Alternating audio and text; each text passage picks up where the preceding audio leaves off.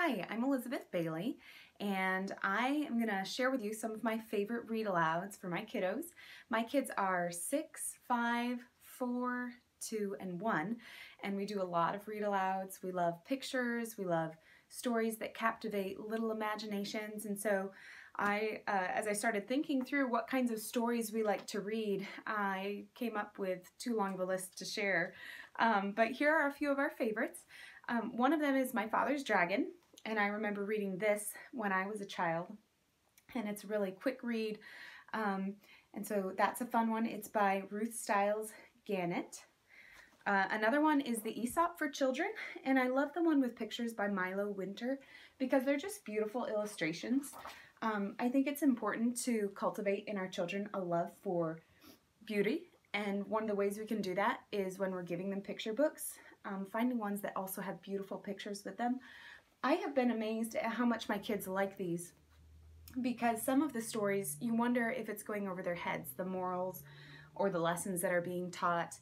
Um, but they really do catch on, and I think because there's some element of mystery, it keeps their minds going, and they love for me to read these to them over and over again. So that's a favorite.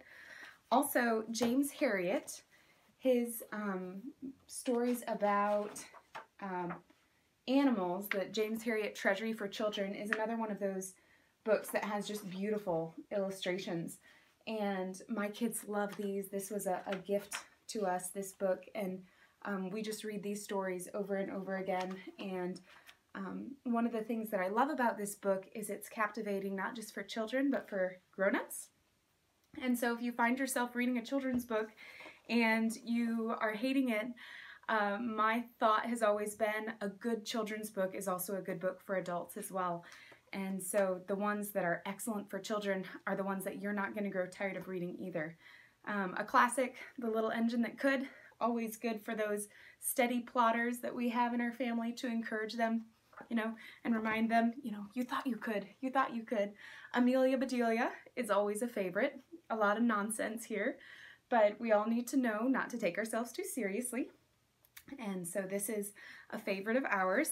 Um, a newer book, this is Bear Snores On by Jane Chapman and Karma Wilson. And I love this book. Um, there's also more bear books, like there's Bear Wants More, there's Bear Says Thanks. I think there's five or more books. And it, it also has really beautiful illustrations. It's got a, a rhyme to the um, story and um, just just a sweet, sweet story. And we find ourselves quoting this book often throughout our days um, just because it's got such a, a catchy rhythm to it. Also, Beatrix Potter, any of her books are obviously classics and my children love them.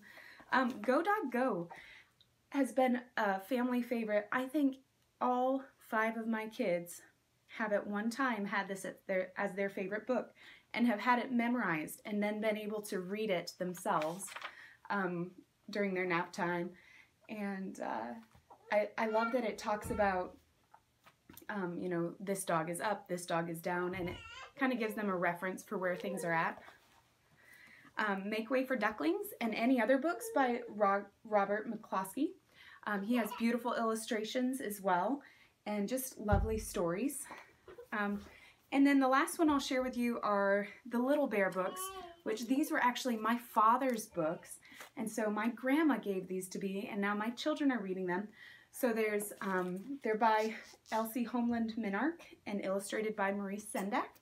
Um, there's Little Bear, Father Bear Comes Home, Little Bear's Visit, about him visiting his grandparents, Little Bear's Friend, and last but not least, a Kiss for Little Bear. So that's a, a, little snapshot at some books that I have found are wonderful for my family, and I hope that you'll um, enjoy them as well. Have a great day.